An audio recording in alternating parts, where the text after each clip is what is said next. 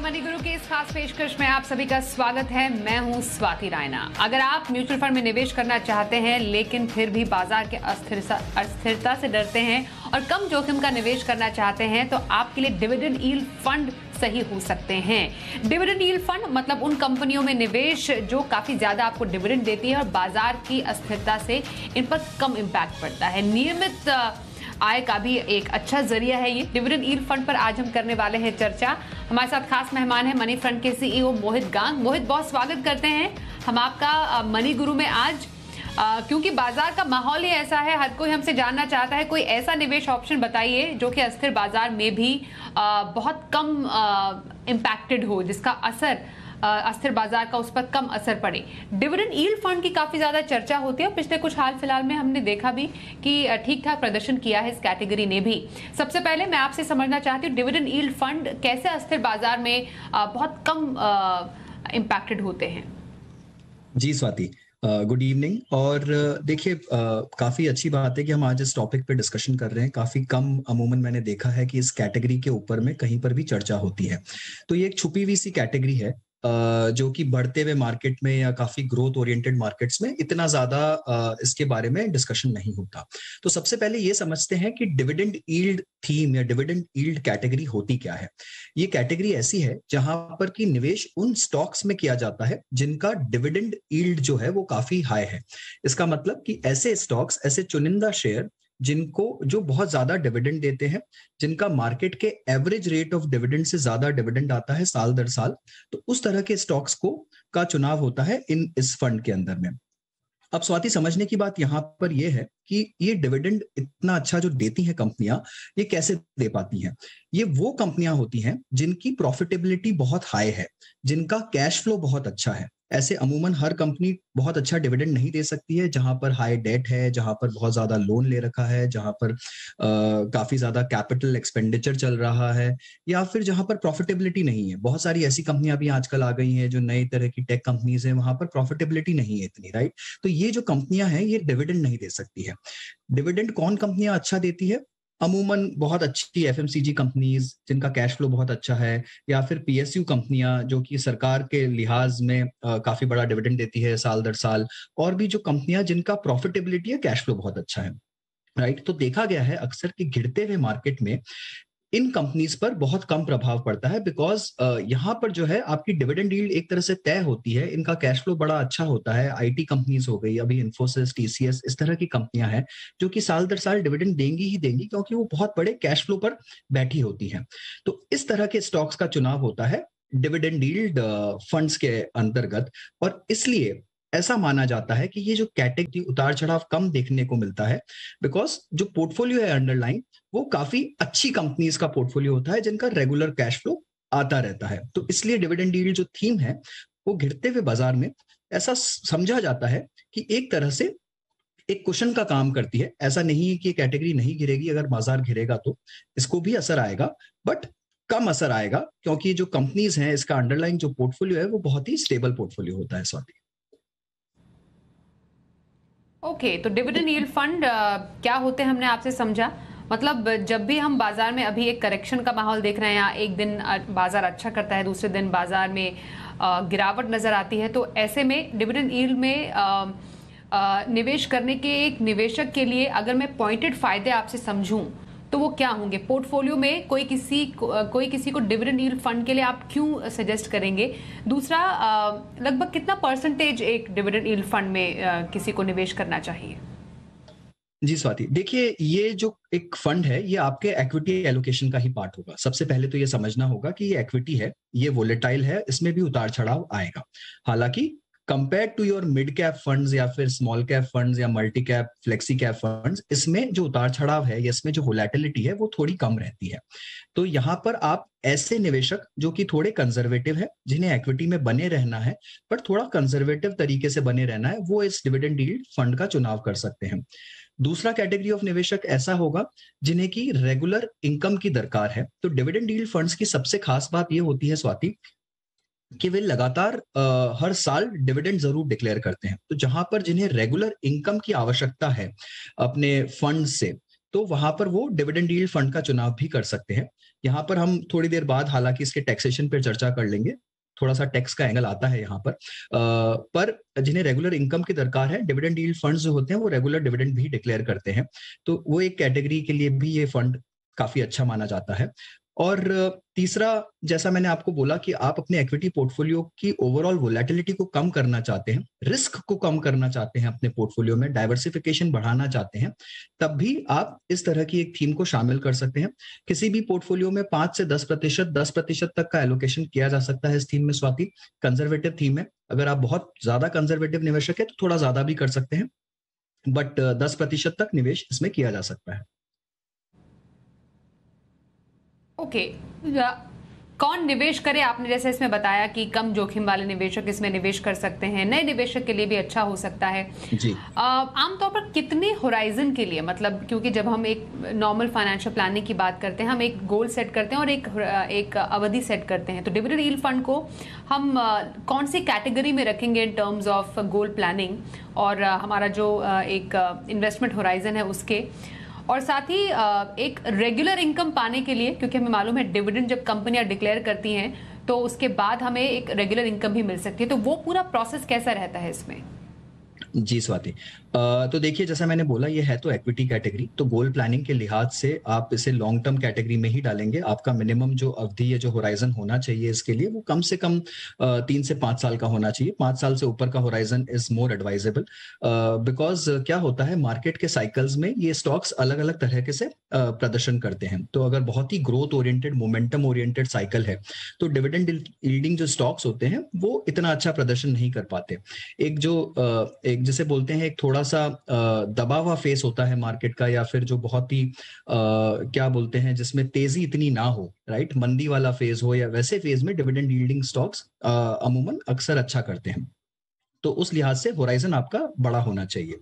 दूसरी बात जो ध्यान रखने की है स्वाति, वो ये कि यहाँ पर डिविडेंड इनकम के लिहाज से अगर आप देखेंगे तो वो अब इन्वेस्टर्स के हाथ में पूरी तरह से टैक्सेबल होती है। तो जो भी इनकम आएगी आपको, अगर आप वो डिविडेंड के हिसाब से ले रहे हैं अपने फंड में फंड से तो वो आपकी पूरी तरह से टैक्सेबल हो जाएगी, आपकी इनकम में ऐड हो जाएगी। तो अगर आप हाईएस्ट इनकम ब्रैकेट में है या आप बीस के ऊपर वाले इनकम ब्रैकेट में है तो ये कैटेगरी से आप डिविडेंड ऑप्शन मत लीजिए। आप इस कैटेगरी में ग्रोथ ऑप्शन में जाइए और वहाँ से आप रिडेम्शन करिए जितनी आपको मंथली रिक्वायरमेंट है या ईयरली रिक्वायरमेंट है, आप एस यानी सिस्टमेटिक विड्रॉल प्लान के ज़रिए पैसा निकालिए, वो ज़्यादा टैक्स इफ़ेक्टिव होगा आपके लिए। हाँ अगर आप बहुत ही लोवेस्ट टैक्स ब्रैकेट में है या फिर आप टैक्स ब्रैकेट में नहीं है, जो कि रिटायर्ड पीपल के लिए होता है अक्सर, तब आप इससे रेगुलर डिविडेंड इनकम भी ले सकते हैं। तो वो टैक्स के लिहाज से आपको थोड़ा इस कैटेगरी में संभल के रहना होगा कि आप कौन से ऑप्शन का चुनाव करते हैं यहाँ पर। और कौन से फंड्स हैं जो अभी जिस पर हम चर्चा कर सकते हैं? ऑप्शंस निवेशकों के पास कौन से अच्छे गुड ईल यहाँ पर डिविडेंड ईल फंड्स के हैं, मोहित? जी स्वाति तो यहाँ पर चार पाँच अच्छे ऑप्शंस हैं इंडस्ट्री में। ये बहुत ही पुराने फंड है सारे। ज़्यादातर नए इस कैटेगरी में नए लॉन्चेस देखने को नहीं आए बहुत सालों से बिकॉज़ ग्रोथ का या मोमेंटम का मार्केट रहा है तो इतना कैटेगरी ये चला नहीं है। बट जो पुराने फंड है, उसमें आईसीआईसीआई प्रूडेंशियल का dividend deal fund Aditya Birla Sun Life का डिविडेंड डील फंड फ्रैंकलिन टेम्पल्टन का एक Templeton India equity income fund है, जो भी काफ़ी पुराना है। एक एचडीएफसी का अभी हाल ही में एक नया लॉन्च आया था एच डी डिविडेंड डील फंड और यूटीआई का डिविडेंड डील फंड यही चार पाँच अच्छे फंड्स हैं जिनका एम भी थोड़ा सब्सटेंशियल है।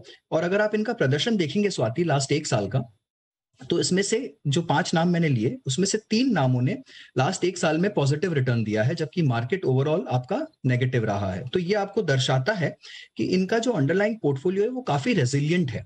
पर अगर आप इनका लॉन्ग टर्म ट्रैक रिकॉर्ड देखेंगे, पाँच साल या सिंस इंसेप्शन का ट्रैक रिकॉर्ड तो ये मार्केट के लाइन में ही है। बट इनका वोलेटिलिटी अगर आप देखें, तीन साल का या पाँच साल का जो कि स्टैंडर्ड डिविएशन होता है तो वो काफ़ी कम होता है इन फंड्स का। तो जिन निवेशकों को चाहिए कि भाई बहुत ज़्यादा उतार चढ़ाव ना हो स्टेबल स्थिरता बनी रहे फंड में और एक कंसिस्टेंट तरीके से रिटर्न आता रहे, उनके लिए ये कैटेगरी बहुत ही अच्छी है। इसमें अगर आप देखेंगे तो आईसीआईसीआई वाला जो फंड है डिविडेंड डील वो काफ़ी अच्छा है। यूटीआई वाला भी बहुत अच्छा चल रहा है और टेम्पल्टन वाला फंड भी बहुत पुराना और बहुत अच्छा है। ओके okay, तो ये डिविडेंड यील्ड फंड्स के कुछ विकल्पों पे हमने चर्चा की है।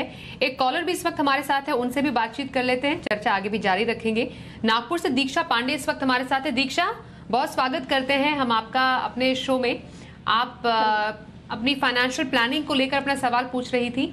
मैं आपसे समझना चाहती हूँ आपने इन्वेस्टमेंट शुरू कर लिया है या फिर जो फंड्स आपने बताए थे हमें अपने मेल पर उन फंड्स में अभी आप इन्वेस्ट करना चाह रही हैं? मैम मेरी एज 24 है और मैं जस्ट अभी है ना मैंने प्लानिंग किया है और मैंने शॉर्ट शॉर्ट किए हैं सारे म्यूचुअल फंड्स अपने लिए। तो मुझे वही आपसे रिकमेंडेशन okay. चाहिए थे कि मेरे एनालिसिस के हिसाब से मेरे लिए ये ठीक होंगे क्या स्टार्ट करने के लिए। ओके okay, तो आपने शॉर्ट लिस्ट किए हैं फंड्स अभी इन्वेस्टमेंट शुरू नहीं की है राइट मैं हाँ इस महीने से ही मैं स्टार्ट कर रही हूँ। ओके okay, तो मतलब फाइव फंड्स आपने चूज़ किए हैं जिसमें आपकी प्लानिंग है फिफ्टीन थाउज़ेंड के एस आप शुरू करें। मैं जल्दी से फंड्स रिपीट कर देती हूँ आपके। पराग पारिक फ्लेक्सी कैप में फाइव थाउज़ेंड की प्लानिंग है कोटक स्मॉल कैप में three thousand Axis mid cap में थ्री थाउज़ेंड की प्लानिंग आईडीएफसी स्टर्लिंग वैल्यू में दो हज़ार की प्लानिंग और आईसीआईसीआई फ्लोटिंग रेट में दो हज़ार की प्लानिंग आप कह रही है फोर्टी ईयर्स की उम्र तक आपको फाइव करोड़ रुपए चाहिए। कोई खास लक्ष्य? बस घर खरीदना है खुद का इसलिए ओके okay. तो 24 इयर्स में तो आपने सबसे अच्छा काम ये किया कि आपने बहुत सही टाइम पे शुरुआत की। सिर्फ़ घर खरीदने का लक्ष्य रखा है? और कोई और कोई लक्ष्य नहीं है आपके? रिटायरमेंट ऑब्वियसली बट मुझे स्टार्टअप स्टार्ट करना है तो उसके लिए भी कुछ फंड्स लगेंगे। रिटायरमेंट अभी ओके स्टार्टअप करना है तो आफ्टर हाउ मेनी इयर्स क्योंकि अभी तो एक्सपर्ट हैं हमारे साथ वो आपके सवाल का भी जवाब देंगे। तो स्टार्टअप शुरू करने का कब तक प्लान है? After fifteen years may be या ओके फिफ्टीन ईयर्स तो आपको क्या लगता है कितने पैसे की ज़रूरत पड़ेगी आपको उसमें? कुछ सोचा है उसके बारे में? अब डिपेंड करता है उस टाइम पे क्या इन्फ्लेशन रहेगा। बट हाँ अगर आज के रेट से देखती हूँ तो one crore minimum okay okay. कोई बात नहीं आपकी हिचक जायज़ है। इट्स ओके okay, आपने तो शुरुआत ही की है अभी। हमारे एक्सपर्ट इसलिए हैं। और एक छोटा सा सवाल आपसे जिससे पहले मैं मोहित से पूछूँगी। ये जो आपने फंड शॉर्टलिस्ट किए हैं दीक्षा ये आपने खुद से किए हैं कि किसी की रिकमेंडेशन पे किए हैं? मैम भाई जो पढ़ा है उसी के बेसिस पे डाइवर्सिफाई करने की कोशिश की है। हर किस तरीके के म्यूचुअल फंड्स होते हैं उसको अंडरस्टैंड किया है और उसमें से शॉर्टलिस्ट करने की कोशिश की है एक्सपेंस रेशियो देख के। मतलब जो भी पढ़ा है ऑनलाइन ही पढ़ा है। ओके ऑनलाइन होमवर्क करके मोहित दीक्षा ने अपने फंड सिलेक्ट किए हैं। अभी उन्होंने इन्वेस्टमेंट शुरू नहीं की है इन्वेस्टमेंट शुरू करेंगे। फोर्टी ईयर्स माफ़ कीजिए। चालीस साल की उम्र तक पाँच करोड़ का इनका लक्ष्य है। एक स्टार्टअप भी शुरू करना है ये कह रही हैं। उसके लिए भी आ, इनको पैसों की ज़रूरत पड़ेगी। फ़िलहाल रकम के लिए वो अभी आ, उतनी कॉन्फिडेंट नहीं है कि कितना लग सकता है। पर इनकी प्लानिंग के बारे में बोलिए जिसकी शुरुआत अभी इन्हें करनी है। जी स्वाति, सबसे पहले तो मैं दीक्षा को बधाई देना चाहूँगा। आई थिंक जिस उम्र पे उन्होंने ये सब सोच लिया है ऑलरेडी प्लान कर लिया है, वो काबिल तारीफ़ है। चौबीस साल की उम्र में अगर उन्होंने खुद से स्टडी करके स्कीम्स निकाली हैं अच्छी बात यह है कि इन्होंने सारी ही कैटेगरीज का सिलेक्शन किया है। अमूमन जितनी कैटेगरीज ले सकती थी, उन्होंने काफ़ी अच्छे से इसको डाइवर्सिफाई भी किया है। एंड स्टार्टअप भी करना चाहती हैं, खुद का रिटायरमेंट के बारे में भी सोच रही हैं गोल्स के बारे में भी सोच रही हैं, बहुत अच्छी बात है। देखिए मैं क्विकली इसका एक छोटा सा जिस नज़रिए से मैं देखता हूँ, मैं उससे बताता हूँ। तो सबसे पहली बात अगर आपको पाँच करोड़ रुपए सोलह साल में चाहिए तो ये थोड़ी बड़ी रकम है। अगर हम बारह परसेंट का रिटर्न अज्यूम करें तो पाँच करोड़ सोलह साल में जमा करने के लिए दीक्षा आपको करीब एटी सेवन थाउज़ेंड की एस आई पी मंथली करनी पड़ेगी। अब ये रकम थोड़ी बड़ी है अभी के आपकी एस आई पी की प्लानिंग से। तो मेरा सबसे पहले आपको सलाह ये होगी कि आप ये जो चालीस का जो आपका टारगेट है, आप पाँच करोड़ का जो लक्ष्य आप रख रही हैं, उसे आप थोड़ा आगे बढ़ाइए, अपने रिटायरमेंट के हिसाब से आप उसे कंसिडर करिए और उसे पचास की साल पे रखेंगे तो आपको करीब चौबीस हज़ार रुपए का एस आई पी करना पड़ेगा और पचास की एज पे आप ये लक्ष्य पूरी तरह से हासिल कर सकती हैं। सबसे पहली बात, आप हर साल अपने एसआईपी के अमाउंट को ज़रूर बढ़ाएँगी। जिस तरह से आपका जॉब चलेगा, आपकी आपकी आगे क्या बोलते हैं वर्किंग लाइफ रहेगी, उस हिसाब से आप उसे भी बढ़ाते रहिए तो आप इस लक्ष्य को जल्दी से जल्दी हासिल कर पाएँगे। सबसे पहली बात। दूसरी बात, अभी आपने करीब 87 परसेंट इक्विटी और 13 परसेंट डेट का एक पोर्टफोलियो बनाया जो काफ़ी अच्छा है।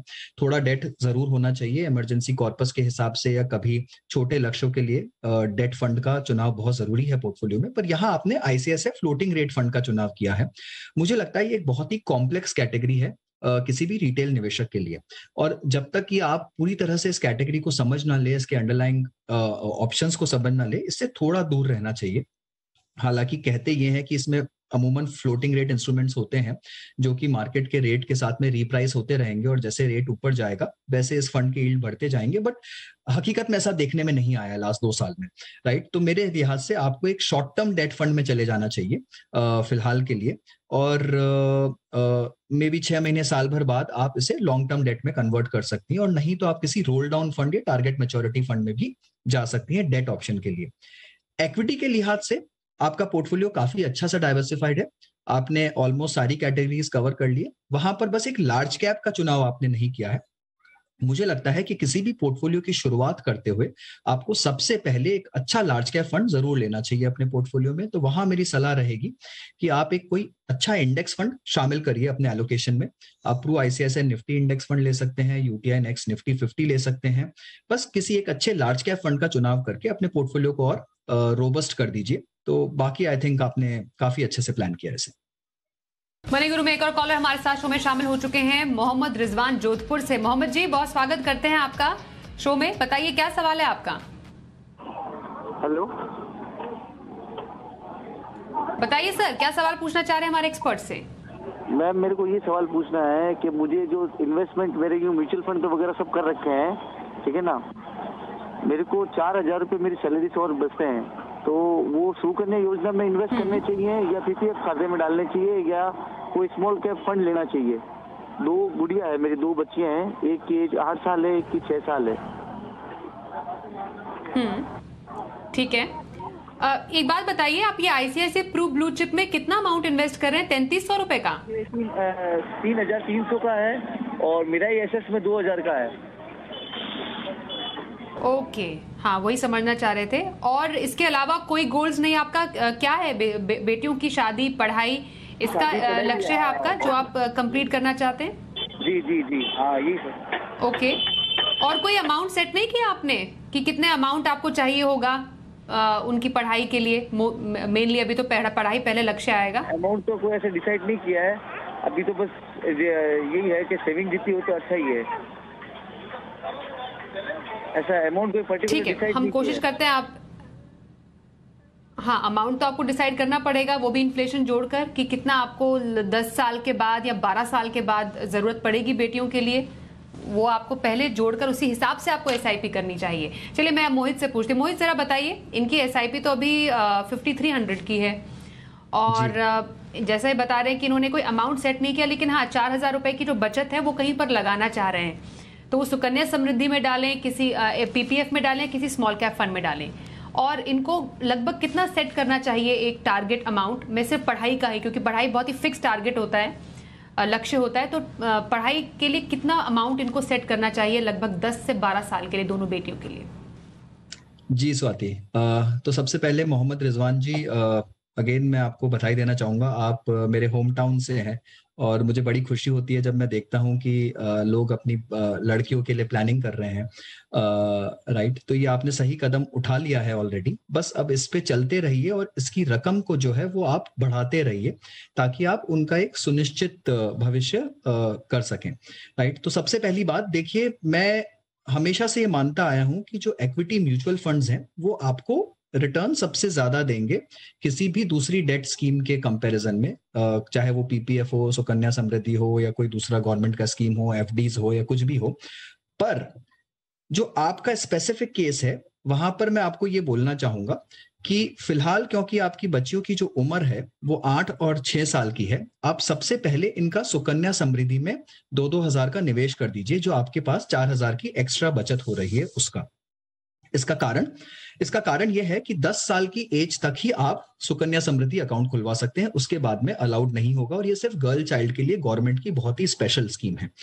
सुकन्या समृद्धि अकेली ऐसी स्कीम है जिसकी की जो ब्याज की दर है, वो सबसे ज़्यादा होती है सारी स्मॉल सेविंग स्कीम के कंपैरिजन में। तो चाहे पीपीएफ हो या कुछ भी और स्मॉल सेविंग स्कीम हो, उसके कंपैरिजन में सुकन्या समृद्धि का जो रेट है, वो सबसे ज़्यादा रहता है और अभी इसमें 7.6 परसेंट का रेट चल रहा है, जो कि पूरी तरह से टैक्स फ्री है।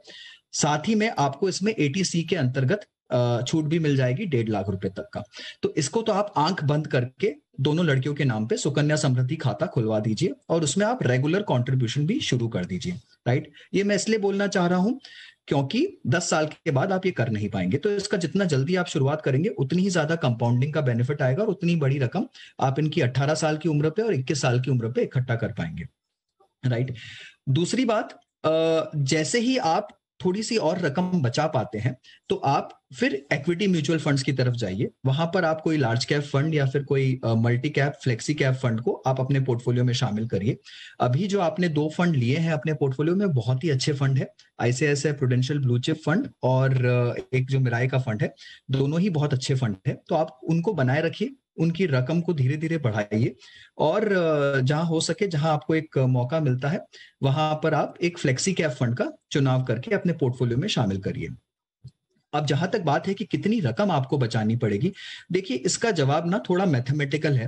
आ, इसको कंप्यूट करना मुश्किल होता है कि आप किस तरह की पढ़ाई उनके बारे में सोच रहे हैं। बट अगर एक नॉर्मल कॉलेज की फ़ीस में देखूँ आज की डेट में अगर मान लीजिए वो कहीं आगे हायर एजुकेशन के लिए जाती हैं एम इंजीनियरिंग इस तरह का कुछ कोर्स करती हैं तो जो फ़ीस है वो बहुत बढ़ चुकी है।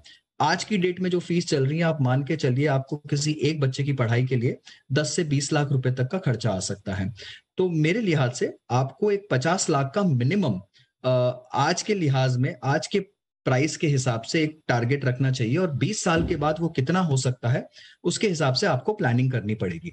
पचास लाख में इसलिए बोल रहा हूँ क्योंकि 18 से लेकर कम से कम 24 साल तक आपको पढ़ाई का खर्चा आएगा, उसमें ग्रेजुएशन और हायर ग्रेजुएशन में दोनों को मिला के मान रहा हूँ। तो हो सकता है इससे थोड़ा कम भी आए, पर आप कम से कम 20 से 30 लाख रुपए आज की वैल्यू पे मानेंगे। तो आपको 12 साल बाद इन्फ्लेशन एडजस्टेड इसकी एक रकम निकालनी पड़ेगी। मुझे लगता है मोटा मोटी तरीके से अगर आप देखें और मैं अगर इसको रफली कंप्यूट करने की कोशिश करूँ स्वाति मेंटली अगर मैं सात परसेंट का इन्फ्लेशन मान लू एजुकेशन में जो कि होता है, इससे ज़्यादा ही होता है तो आप दस साल में इस रकम को डबल मान लीजिए। यानी कि जो आठ साल की लड़की है जब वो अट्ठारह साल की होगी तो उसकी कॉलेज का खर्चा अगर आज पंद्रह लाख है तो वो तीस लाख हो जाएगा।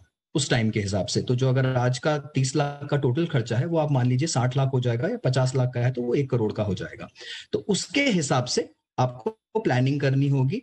आप उनकी टोटल पढ़ाई के लिए कम से कम एक करोड़ रुपए का प्लान बनाइए और उसके हिसाब से आप अपनी बचत को बढ़ाते जाइए और करते जाइए। तो बहुत अच्छा रहेगा दोनों लड़कियों के लिए। हम्म तो समझे आप रिजवान साहब? सुन पा रहे होंगे हमें। तो पहले जब आप गोल सेट करते हैं और ये समझते हैं कि हाँ आपको पंद्रह साल के बाद, मानिए एक करोड़ रुपए की ज़रूरत पड़ेगी, उस हिसाब से आपको बचत करनी और एसआईपी करनी है। ये सही तरीका होगा और इससे आपको आसानी होगी अपने गोल तक पहुँचने के लिए। तो कोशिश कीजिएगा एक गोल सेट करने की, जैसा बताया मोहित ने, और उस हिसाब से अपने फाइनेंशियल प्लानिंग को आगे बढ़ाइएगा। बहुत धन्यवाद करेंगे मोहित। आप हमारे साथ आज मनी गुरु के शो में शामिल हुए आज मनी गुरु में बस इतना ही, रुकते हैं ब्रेक के लिए आप भी पूछना चाहते हैं सवाल तो तरीका आपको दिखा देते हैं। अपना पूरा नाम प्रॉपर सवाल के साथ, अपनी उम्र और अपना फ़ोन नंबर ज़रूर लिखिएगा। और फ़िलहाल इस शो में दीजिए इजाज़त। नमस्कार।